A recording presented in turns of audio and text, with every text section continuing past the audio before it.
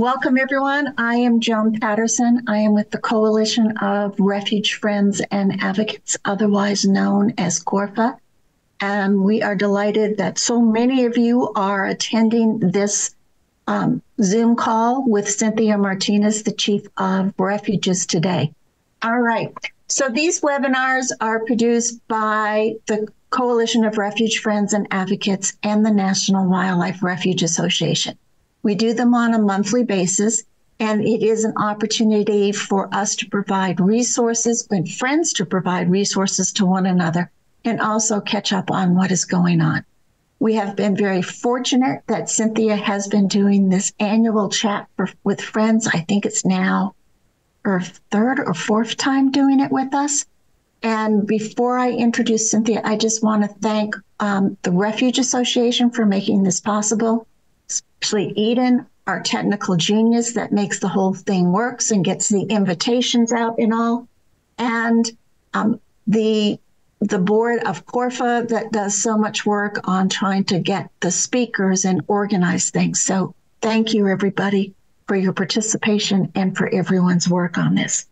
So let me introduce Cynthia. She is Cynthia Martinez, Chief of the National Wildlife Refuge, um, not association, but system. She has been with Fish and Wildlife Service since 1993, and we were lucky to have her come to headquarters in 2010. And when she first came on board, she spearheaded the effort to, you know, develop a new vision for the refuge system with the conference in 2011 called Conserving the Future which has really provided a lot of direction for the refuge system over since that time. 2012 to 2015, she was deputy chief, and in 2015, she was made chief. Personally, I've known Cynthia for a while now, and what I know about her is that she really cares about the refuge system. She cares about the habitat, she cares about the wildlife, she cares about the people that are involved. Um, this has been, I think, you know, for anybody taking on her position, an extremely frustrating time with the declining budgets, the increased workload, all of that going on. I know it must be, or I'm assuming at times it must be very frustrating for Cynthia. But I will say that she is always a champion for the refuge system. And what I have found is she has always been a champion for friends. So thank you, Cynthia. And I'm going to turn it over to you. Thanks, Joan. I'm sorry about that. I was like, I hear you. I'm here. I just can't get my camera turned on. I couldn't get my unmute. But It just mean unmute. It wouldn't do anything. Yes, we've known each other for a long time, Tony, and I appreciate our friendship as well. Uh, I've known several, lots of you for quite some time. That's what happens when you stick around for a long time. You get to know a lot more people? Um, yes, and I was on a on a previous webinar and um, it was kind of fun because there were some friends that were on the last call as well. And I was like, I really have to jump over because I've got more friends waiting on the other screen. And um, so apologies again for being a bit tardy, but I really do appreciate you all inviting us to this conversation. First of all, I appreciate everything that each of you do as a friend at whichever of your favorite national wildlife refuge, and in some cases, probably plural national wildlife refuges, um, because we just need that much help, don't we? Um, it's always fun to come and chat with you all and um, catch up.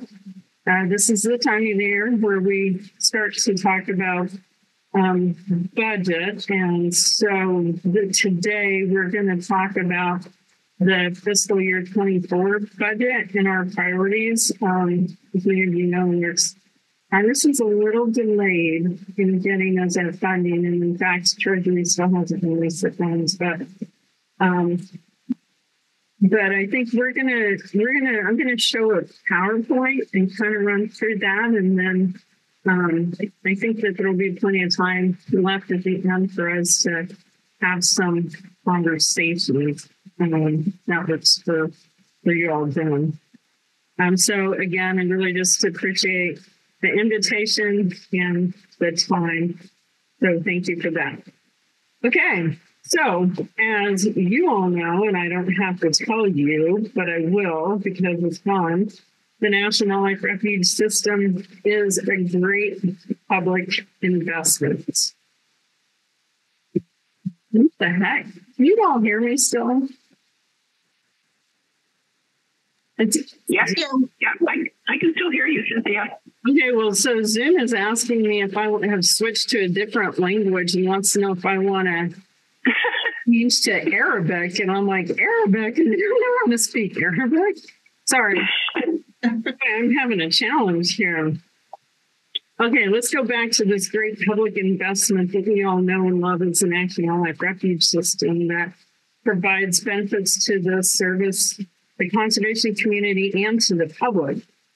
With habitats in all ecosystems, the refuge system is truly the cornerstone to building a resilient future for wildlife and for people.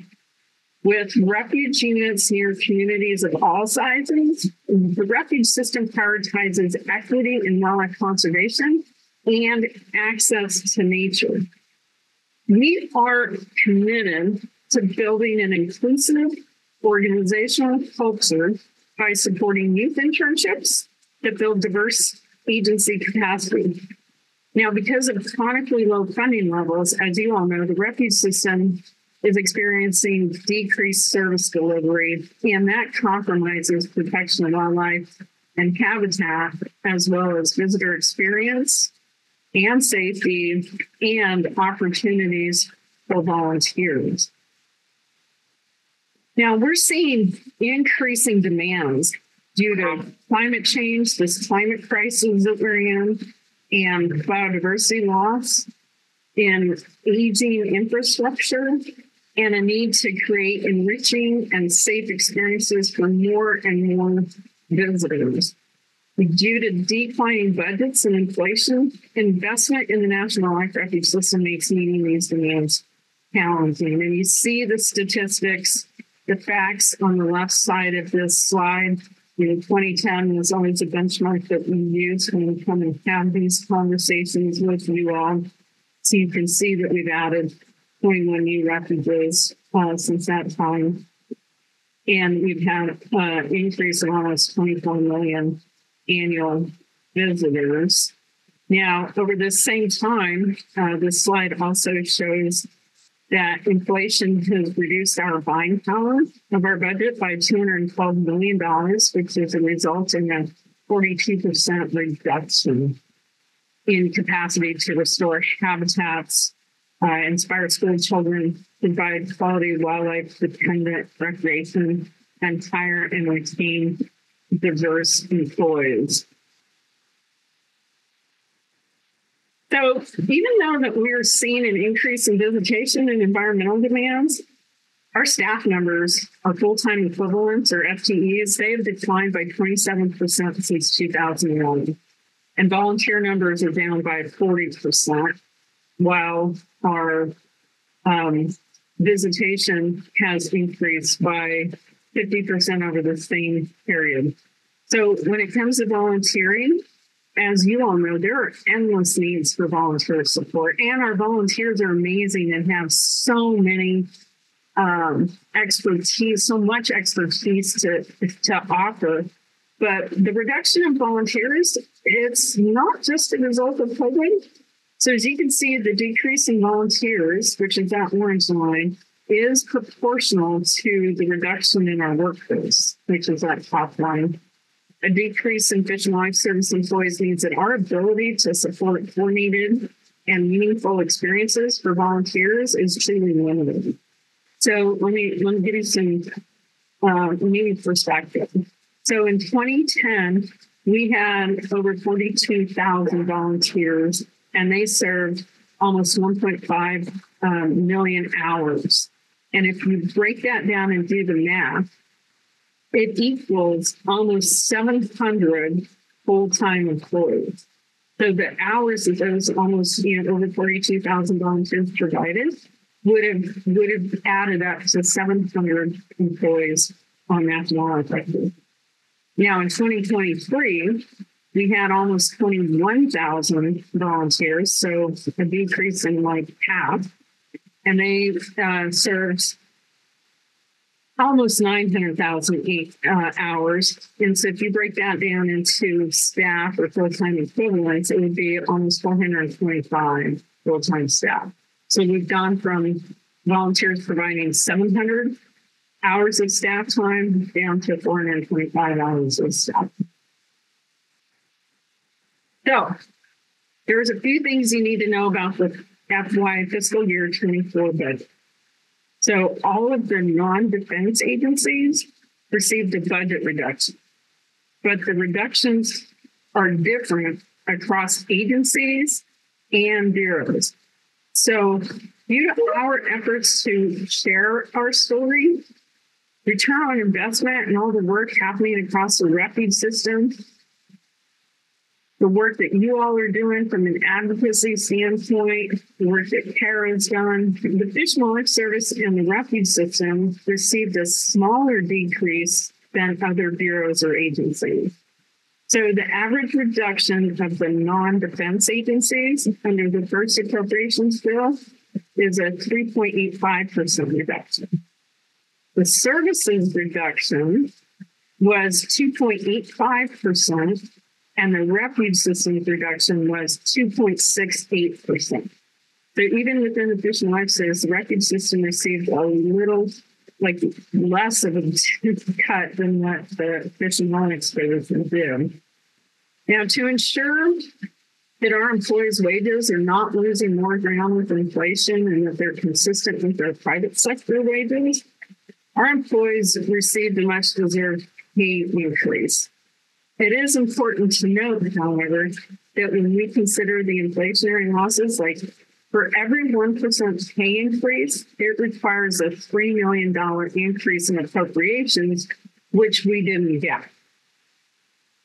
So if they give us an increase in pay and salary and not the funding to go with it, we still have to find it. So to mitigate budget cuts on resource management accounts, which fund our salaries, benefits, and the management capability, the dollars we use to actually manage across the system, we work with the Department of the Interior, the Office of Management and Budget, OMB, and Congress to take more from projects than our base funding limits. Now, this approach helps us maintain essential essential services while prioritizing the system's critical habitat for species and infrastructure needs, and it provides a better return on investment. So we are going to continue to leverage other funding sources like the Great American Outdoors Act. That's what GAOA is. The um, infrastructure law.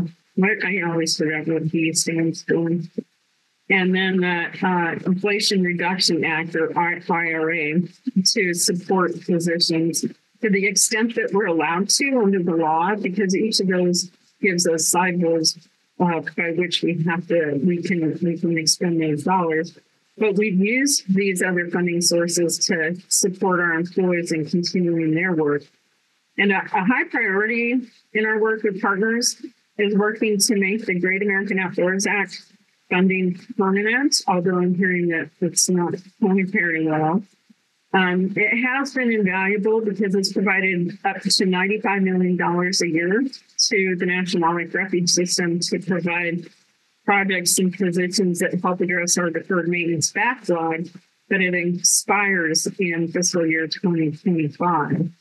So the Great American Outdoors Act really must be reauthorized and preferably made permanent, just like the Land and Water Conservation Fund or LWCF was, as well as increasing the services authorization to 285 million annually and expanding it to include all of the fish and wildlife service constructed infrastructure. You see, the National Fish Hatchery System wasn't included in GAOA. Thank you, bipartisan. That's what the B stands for, bipartisan infrastructure one. Um, Anyhow, the National Fish Hatchery System wasn't included in the original GAOA authorization. Um, but it would really be awesome if we could get that one um, authorized permanently. So, shifting gears, let's talk about the power of storytelling, something that our friends are really good at. The budget process is more than just numbers, right? It's a platform for us to articulate the narrative of the revenue system. Now, our narrative strategy is twofold. We highlight the benefits our work provides to people, wildlife, and meeting climate resilience priorities, and in other words, the public good. We also stress how efficiently we do this work for basically our high return on investment. We are really a good investment. Give us the funds and we spend it. We told you we'd spend it and we'll do it efficiently. And then we spotlight the pressing need for support due to chronic underfunding, underfunding, and we detail impacts that compromise resources and visitor opportunity, experience, and safety. But why is a unified story so crucial? Because it's not just about telling, it's about resonating. And that only comes with a compelling and consistent story told through budget narratives, public awareness campaigns, and through partners and friends. This narrative not only illustrates the challenges and successes we face, but it's a primary way we can influence budget decisions, priorities, and legislative action. It's important to recognize that our narrative doesn't always match our approach. Yes, that's what I really said. It's important to recognize that our narrative doesn't always match our report, our approach. Because why? Because often our pride and passion for our accomplishments, like for, for people who work for National Wildlife Refuges, our pride and our passion for our accomplishments, they can overshadow the negative impacts of the refuge system due to inadequate funding. Now, this is an issue across all levels of the refuge system.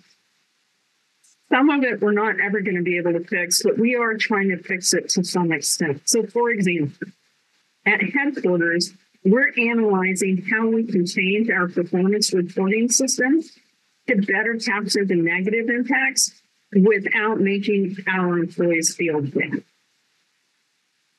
As we move through the next few slides, I'm going to share, share how we've been framing this unified narrative to help us all be better spokespeople for the national references.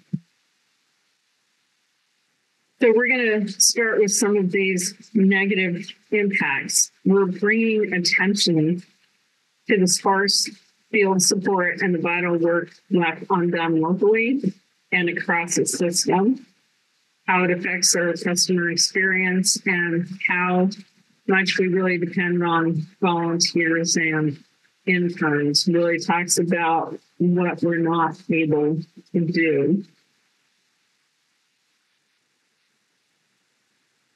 And some of these things um, include uh, insufficient monitoring of endangered and threatened species, which could lead to irrevocable biodiversity losses. Um, we just finalized our planning policies last week. It's a way that we're going to um, complete the next round of our comprehensive conservation plans. Those are the plans by which we um, manage national wildlife refuges, as long as well as those step down plans. And you can see that we've got 60% of our refuge units are in need of a new CCP or comprehensive conservation plan.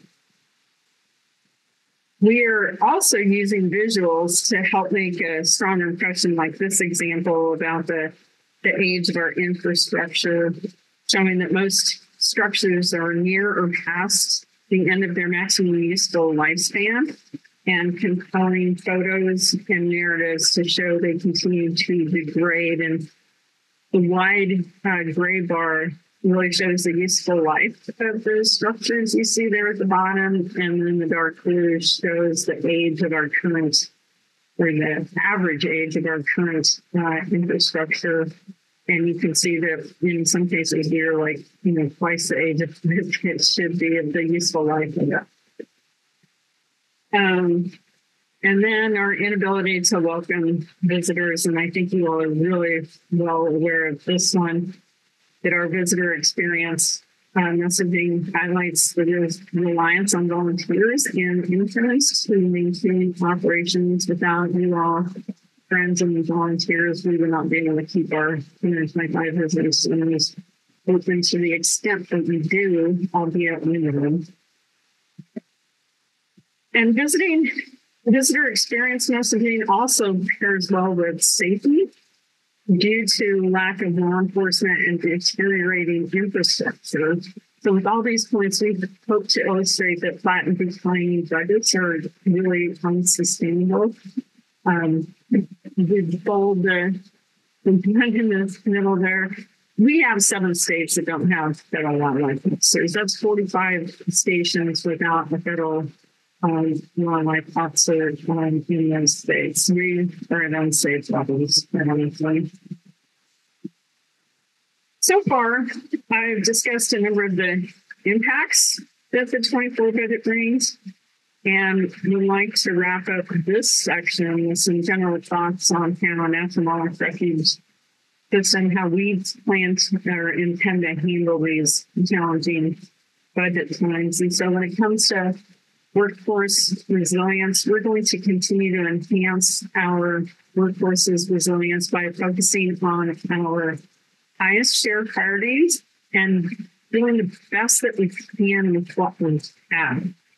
You know, headquarters, we will continue to collaborate with the regions on national strategies around workforce planning and decrease staffing, which will unfortunately reduce education and outdoor recreational opportunities and our ability to address deferred maintenance. And to support the workforce, we really need to act like a system you're going to have to make hard choices like reducing open hours with closing visitor centers.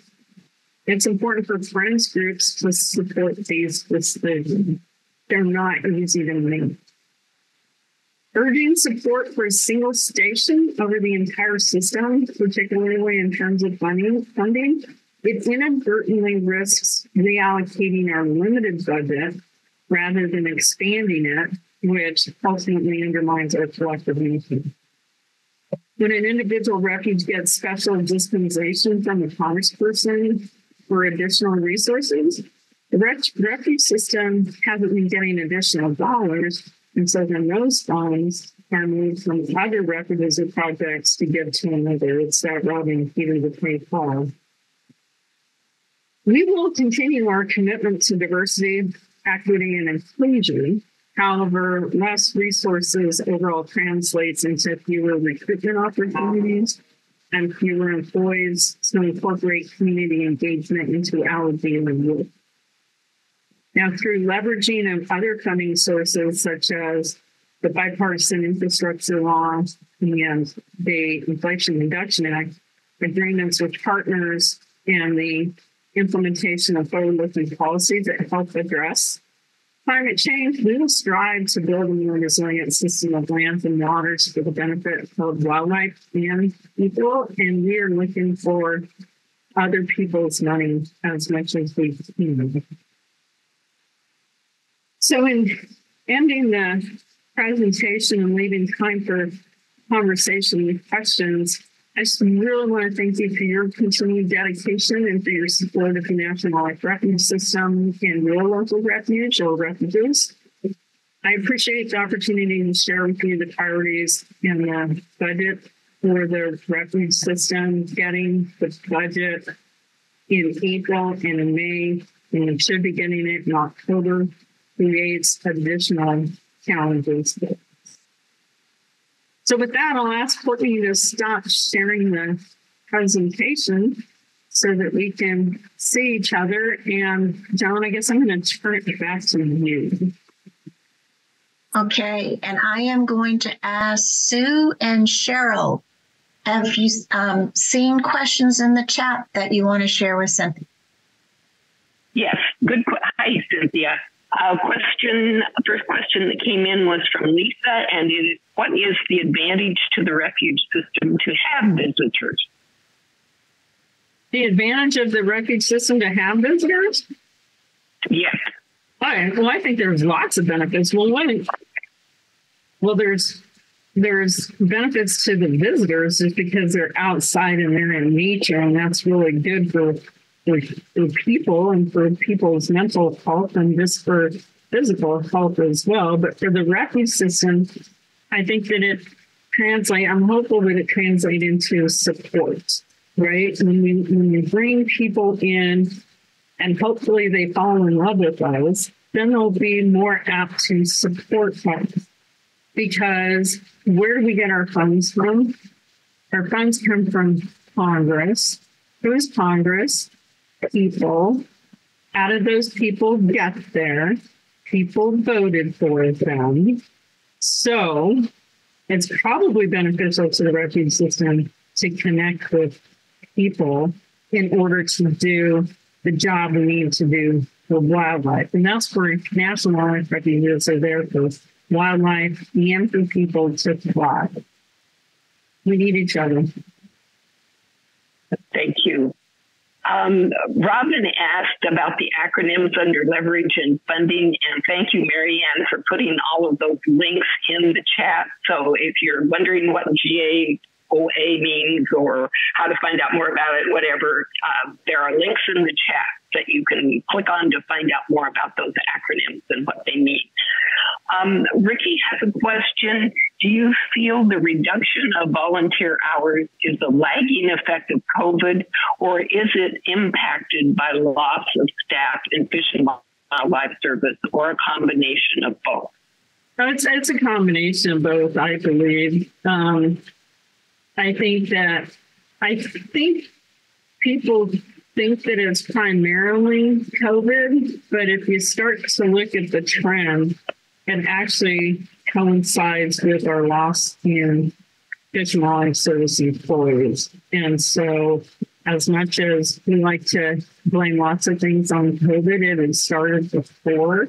I think COVID maybe exacerbated or at least highlighted that it's also because we have this decreased capacity of, of fish and wildlife service employees. We need those employees to be able to um, oversee the volunteers and and the projects that they're doing, and identify those projects, all of that. And so I truly believe that it is.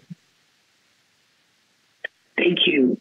Lisa asked another question. How can other organizations be utilized? Organizations like the Boy and Girl Scouts, Boys and Girls Club, YMCA, YWCA, and so on.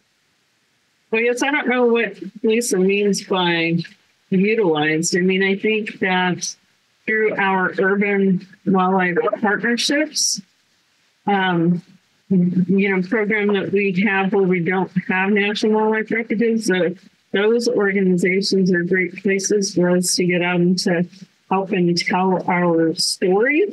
Um, for us to um, begin like our stepping stones to engagement, right? We go and we meet folks there, and then we get them maybe out into a park, an urban park, and then we get them out into uh, or onto a national wildlife refuge. And so I, I think that it's an opportunity that we can uh, work with those um, organizations that you listed there in order to expose the National Wildlife Refuge System to to um, communities that maybe didn't even know that refuges existed. So I think there's a lot of good synergies there. Thank you. Um, Julie asked, as a friends group, what is the best thing we can ask of our members toward advocating for the National Wildlife Refuge System? Well, as friends, you all can ask them whatever you want to ask them. And I, it's more like I work through the Refuge Association, Joan and others, but I think that I think highlighting the, the, the entire National Wildlife Refuge System and some of the things that I just shared with you, the needs that the National Wildlife Refuge System has as as an opening, and then talking about you know, your national wildlife refuge because, you know, all politics are local. Um, and so I think that um, the the increase, any additional increases for the refuge system, what is a challenge for us when we get increases is if they're just targeted to certain areas, then it minimizes our uh, flexibility. And also, when Congress directs us to spend money in certain areas but doesn't give us the increases to go along with that, then we got to find it from somewhere else. Thank you. Um, are there any advantages to allow? This is from Jennifer. Are there any advantages to allowing hunting? There are clearly disadvantages. Have you been able to remove lead bullet use? She just gonna like throw that Just a little- just, just- like that, huh, Cheryl? Yeah, just just a really short one for you. I mean, I guess it depends your perspective on whether you think that there's advantages or not for hunting. I mean, certainly hunting was identified in the Improvement Act in 1997 as a wildlife dependent use. And um, certainly there are um, places where allowing hunting helps us with managing certain populations of species. So certainly there are um, advantages. There's also advantages of connecting people. And so Heinz National Wildlife Refuge in Philadelphia has been doing a lot of outreach utilizing archery.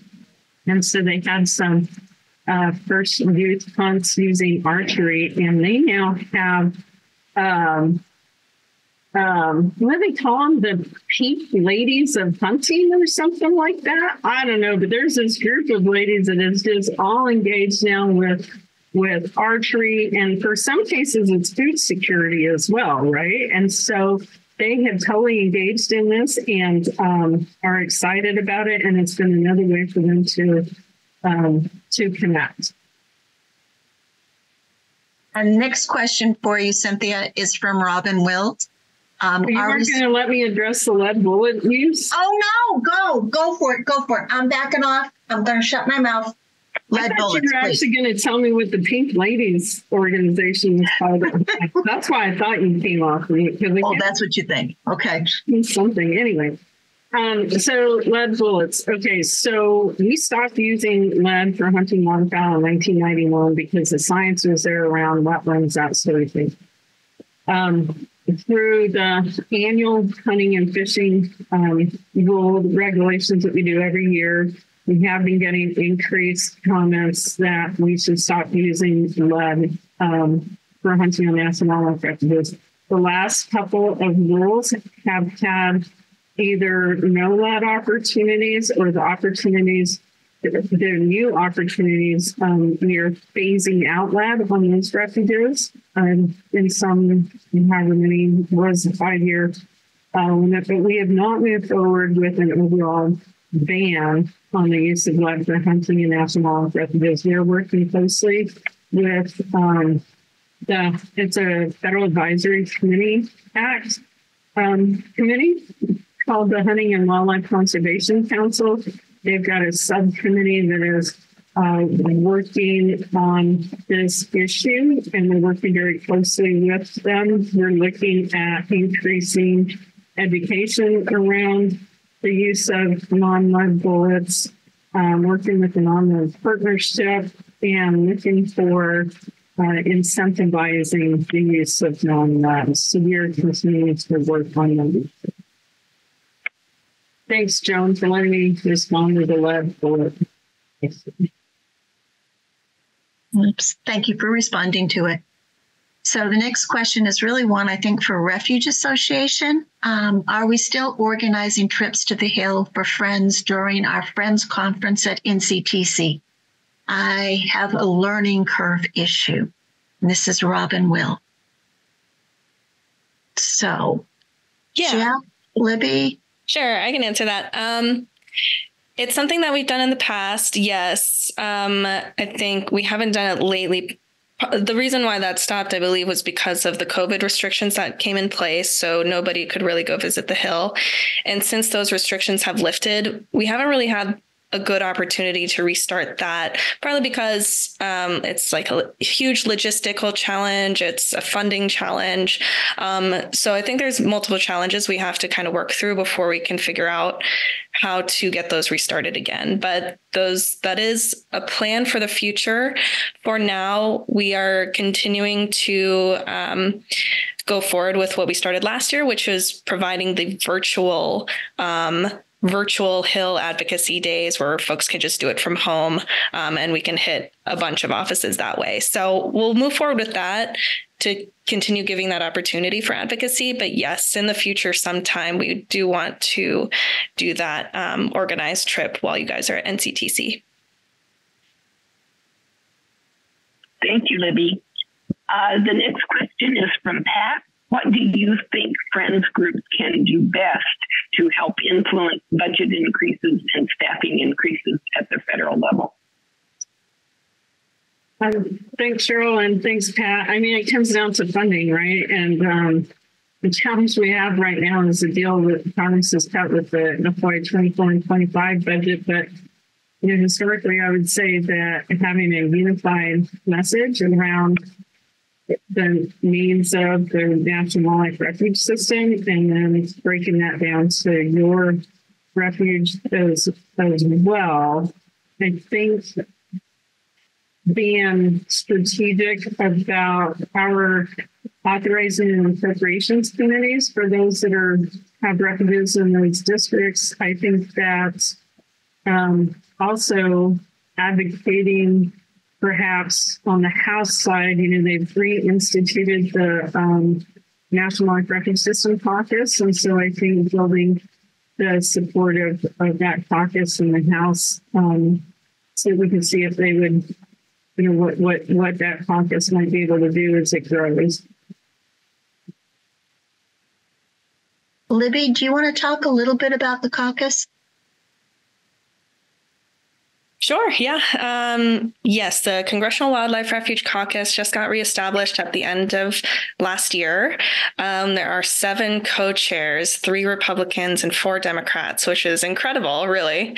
Um, so, that caucus, uh, we are still work, still need to have a um, full meeting with them to really discuss what are the bipartisan priorities they can get behind and what can they push forward as a full coalition and you know what type of messaging do they want to put out but for now what the important thing is is just trying to get more and more house members to join that to join that caucus.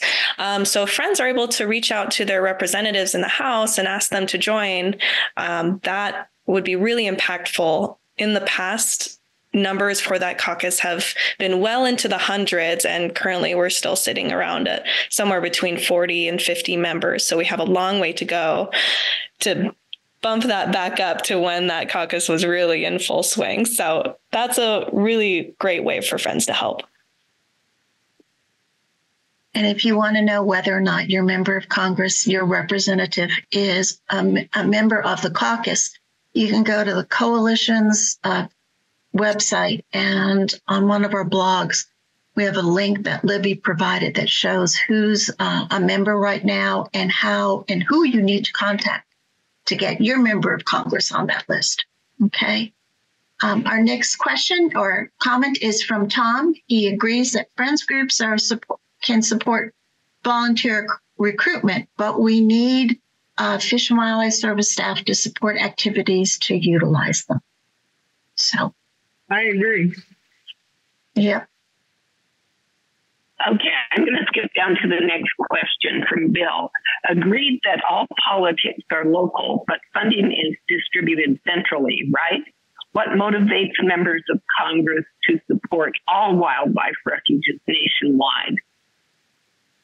That's a great point, and and I think it's it's depends, right? I mean, the great thing about the National Wildlife Refuge System is I think that we're bipartisan because I think that different people see different. Um, they connect differently with refugees based on their backgrounds, right? And so I think that the the motivation is for them to recognize and understand how their refuge, and hopefully there's no refuges in this one in their district, fits within the greater system. Because every time that I talk to groups and I talk about the expansive nature of the national wildlife refuge system, where we start in the wings things beyond Puerto Rico, but the Virgin Islands, where we have three national wildlife refuges, and you go up towards Maine, and you go over the map, the Northeast Canyons and National Monument, you go all the way up to the Arctic National Wildlife Refuge. Beyond the west coast, the northwest, beyond Hawaii, beyond Guam, we're in Saipan, in the Mariana Island uh, National Marine National Monument. And then you go south of the equator. So the south of American Samoa, 13 degrees south of the equator, is Rose Atoll Marine National Monument.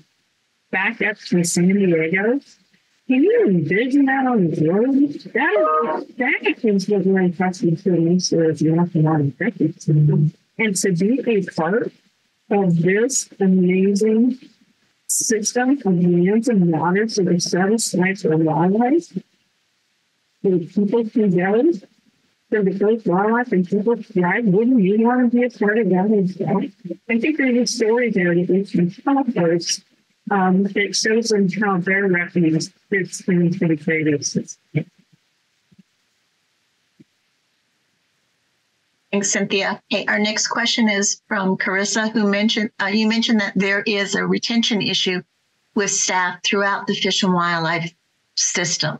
As friends groups that may support a refuge that has frequent retention issues at their refuge, such as ours, what would you suggest that friends groups can do to help with bridging that um, gap of community frustrations of inconsistency with management of the refuge and new staff at refuge. This seems to be a prominent issue when it comes to the hunting recreational usage of our refuge. Well, I think there's there's multiple things in that. There's, there's the woods that are all kinds of things in terms of questions, things, Carissa. But I, I think that the friends can play a role because I think the world of CP3 is having some history with the refuge how it's work. I think helping to support new managers as they come in. Um, you know, it works best when friends and, and refuge managers like have the same goal and we're, we're, we're headed in the same direction. I don't, I'm not suggesting that we have to um, all think alike, but at least we can all be rolling in the same direction. And so I think that that's part of it. Some of our, and, and I think in some places, um, retention issues are harder than in other places. I mean, we, I, I just came back from the land as much wildlife refuge, and one of the things that we have is pension issues there. I think we have people who have gone back home. I think that they're on the second going under the rangers, that sort of thing. Um, and, and there's some people that have worked there for over 30 years. And so I think that it's dependent on uh, the where and perhaps even the remoteness uh, some of our refuges, in some cases, I think are always going to have some of those um, challenges. But I think getting to, to know each other and then um, being, oh, I'm going to pull a standards of excellence into this conversation, just like we're pushing our folks to um, um, live by the standards of excellence and knowing and relating to our community. I think we've done this to know and relate to the refuge managers. And friends can be a community asset, the community being the refuge manager and the employees that works in efficiently on those refuges. Then I think that that helps with um, bridging some of uh, those gaps. Um, Thank you. Cynthia? Just wanted to know you're breaking up just a little bit. Okay. That's better. That's better. Maybe okay. I started mumbling because I've been talking for two hours. We'll give you a break in a few minutes. How's that? Unless you've got another one right after us. Um, Polly asked, is there another National Friends Conference coming up? And I know that's a Linda Schnee question. Linda, do you want to talk about the trainings at NCTC or the uh, uh, gatherings at NCTC that are coming up in the next few years? Sure. Thanks, Cheryl. I put it in the chat as well. Um, the plan, and of course, that's always going to be um, a little bit budget dependent, but the plan is for next year, probably somewhere between April and August 2025, to have a Friends Academy, which is the smaller um, 24 participant Friends workshop uh, that usually runs for four and a half days. And that is um, application only and um, selected folks. So you nominate somebody or yourself, uh, and that's 24 participants usually. The larger National Friends workshop that we had last year, the next one should be in 2026. So again, that's um, it will depend. Oh, and I just got the confirm your speaking language for Arabic as well message. That's interesting. Um, but that's the hope. Um, and so, Friends, the National Friends Workshop is uh, also open to service staff who support Friends, um, refuge managers, and project leaders, Friends liaisons. And Friends Academy is just the smaller group that is really for Friends only. So, people can contact me at any time with those questions, and I'll be sure to put my email uh, in the chat. Thank you. Thank you, Linda. Mm-hmm. Next question for Cynthia. This is from Becca. What factors determine how much a refuge gets from the total uh, National Wildlife Refuge System budget? So, do people hear me okay now? Yes. Yes. Uh, so, we have a budget allocation methodology that we use here in headquarters, and we utilize that to determine what percentage of the budget goes to each of the individual regions. We have eight regions in the Fish and Wildlife Service. And then the regions will then utilize their formulas for how they determine how much is going to each individual natural wildlife refuge. For like the base salaries and the management capability, the dollars are used to actually run the refuge. With regards to deferred maintenance projects, we do those on a five year basis. And so we've got a five year plan for all of our deferred maintenance projects across the refuge system. And then each year we update it. Additionally, we get dollars through construction. The construction account funds all of Fish and Wildlife Service construction, not just National Wildlife Refuge System. And unfortunately, it got cut in fiscal year 24. And so for line item construction projects in 24, we only got $11 million. And so some of this is dependent on which sub activity and, and people and salaries in those projects. Thank you. Um, for those of you who might have been curious about the standards of excellence that Cynthia referred to, Amy put those in the chat as well so that you can see what the standards of excellence are. I know from uh, just having been at NCTC that that's a real central focus for Fish and Wildlife now. So it should be for Friends groups as well, probably. And uh, Linda Schnee put her email address in the chat.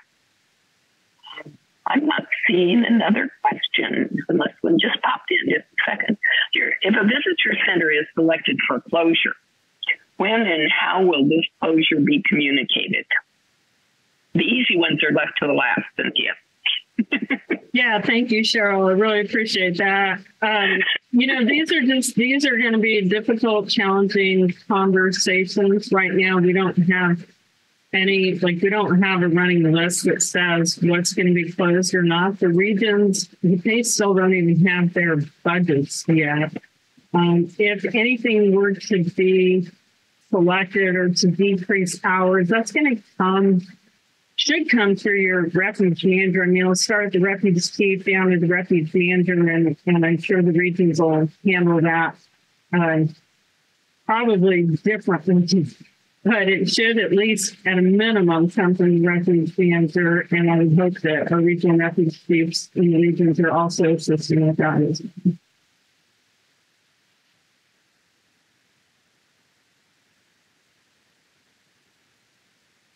I can address. No, go Your ahead. next next question in the chat is from me. So, how will the public see the impacts of these lousy budgets on refuges?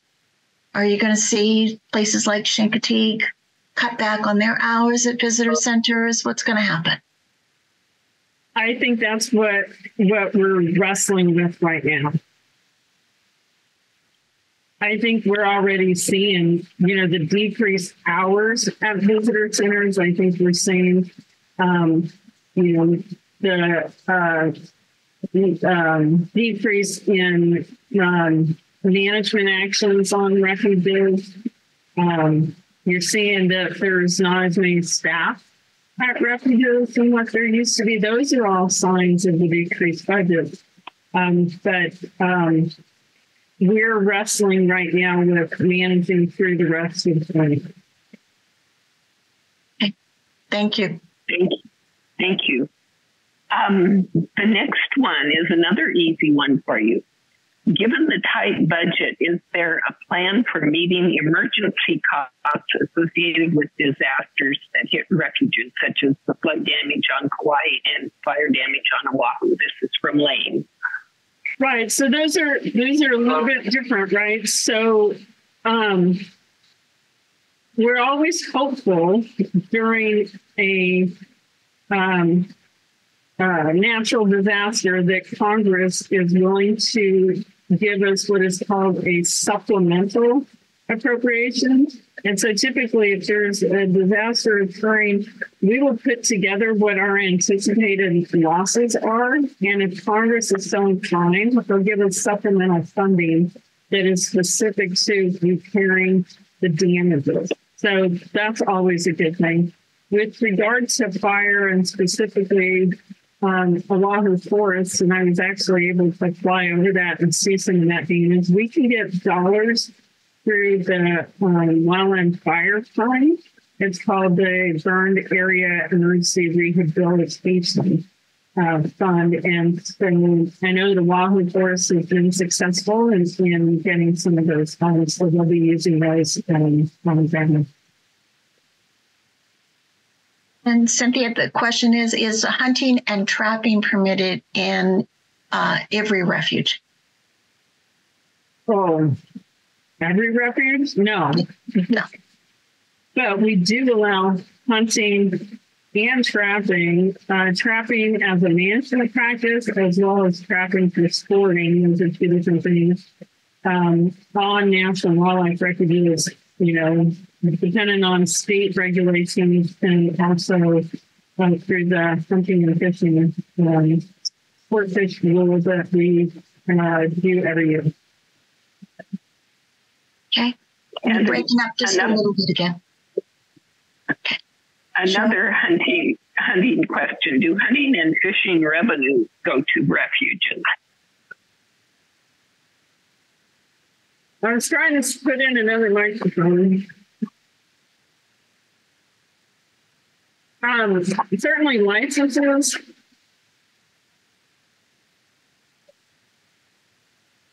Is that is that sounding better? or just quickly? It's okay. Okay. Um, so people that hunt on uh, fish on national wildlife refuges will need to purchase um, state licenses, and so certainly the states benefit from the revenue uh, coming from there. Um, yeah, so the hunting and, and fishing licenses are through the states, but I think that we also bring uh, through those uh, uses is economic benefits to our local communities. Um, typically, when people come on the refuges, uh, regardless of the use that they're coming for, they're contributing to our local community. And and also the duck stamps contribute. Uh, duck hunters have to pay by a duck stamp, and that helps to contribute also funds. Correct? Yeah. Not being not being a hunter. thank you, Cheryl. And you don't have to be a hunter to buy the duck stamps, right? So Nope. the duck stamps always go into the Migratory Birds Commission, and we purchased. Um, uh, we're able to purchase lands, um, acres to contribute to um, the either like lands inside of a refuge boundary or if we expand the boundary. So it buys habitat. That's what I'm trying to say. Okay, another question is Can Refuge Friends volunteers man the visitor center? Well, of course, they can help man the visitor center. They just can't do it like you know all by themselves, and that's where where we're in need of additional staffing. But I mean, without volunteers and without friends, we can't keep our visitors from sleeping. Um, and and they don't just man the visitor center, right? I mean, they're helping with cleaning, they're helping with some of the, the maintenance, the educational programs, certainly communicating um, other programs so that we can have some quality visitor experience. And we appreciate Oh. it.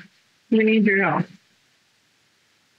Okay, Lisa's asking, can Friends volunteers be trained to oversee projects?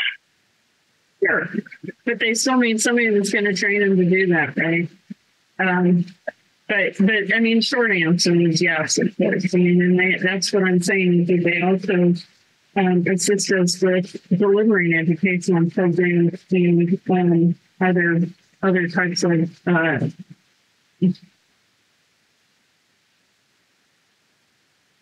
I was looking for the I one. Okay, I guess my brain's starting to go. Interpretation. That's what I'm trying to say. Interpretation projects, environmental education and interpretation. So, Joan, I really appreciate the opportunity to be here to spend time with you all to talk about where we are with our budget, what we're, you know, where we're trying to head. And I absolutely we appreciate all of the work, timeless energy, effort you all can choose to spend your time with someone else and you choose us and we're forever grateful for that. So thank you, thank you, thank you. Thank you so much for spending Thank this you. hour with us. We appreciate it. All right, take care. See you all next time. Take care. And folks, if you could Thank you, just Cynthia. hang on for a minute, Libby has an announcement that she'd like to share with folks about public witness um, getting testimony up to the uh, up to Capitol Hill. So, Libby. Yeah, thanks, Joan. Um, hopefully, most of you um, are subscribed to the Refuge Association's action alerts. So, hopefully, you had seen that there was an alert um, sometime last week about submitting public witness testimony to the House Appropriations Committee. Um, so, if you haven't seen that, please check your emails for it. Eden just posted in the chat um, the link to that action alert. And the Senate just announced their their instructions for submitting um, testimony as well. Um, so we didn't put out a national alert for that yet because it just came out, but the link to those instructions are there as well in the chat. Um, so the reason why we're asking friends to submit testimony is because this is a really great opportunity for the um, Interior Appropriations Committees in both chambers, which is the committee that decides the level of funding that the refuge system will receive. Um, it's a good chance just for them to hear from people on the ground, from friends groups, from any stakeholders really that have an interest in the refuge system and um, want to communicate why it's so important that that increased funding happen. Um, so in that action alert, you'll see we provided some sample testimony to get you started, um, a sample um, witness disclosure form, which is just a form you have to submit uh, with your testimony so they know who you are. Um, but if you have any questions or um, issues working through the materials that we provided, please feel free to reach out to me. Joan um, and Corfa have also uh, sent out some guidance on this as well. So please feel free to reach out to any of us if you need any additional guidance. But we definitely are encouraging all friends groups to submit some testimony and make sure there's really good support for the refuge system um, during this entire appropriations process. Thanks, Joan. Thank you. Thank you, Libby. And let's turn it back to Sue now so she can tell you about next month's webinar. Okay, great. Well, thanks everybody again for attending a super great webinar and full chock full of great information. Uh, we have more to come in May. We'll be talking about environmental education programs and youth programs and the way friends can help those programs. That's May 15th, and Brianna from the Fish and Wildlife Service will be our lead. In June, we'll be having a, we'll be going back to advocacy and talking about um, how the summer recess can work in our favor. So uh, it'll be a perfect time to talk about the summer recess and how friends can actually get engaged at that level. And then in July, we'll be going back to board governance. And so uh, we'll be talking about some of the roles and responsibilities of the friends groups. So um, I think with that, uh, we'll um, see you on May 15th, and uh, we'll be talking about youth programs. Thanks, everybody, again for joining us today. Thank you, everybody. Thanks, everyone.